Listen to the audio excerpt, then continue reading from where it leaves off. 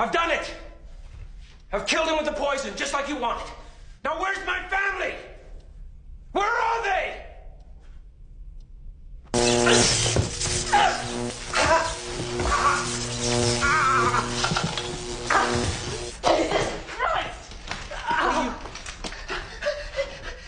I just got electrocuted. Jesus, that was our way out. Did, uh, did you hear I? Thing off me. Get it off! Stop acting.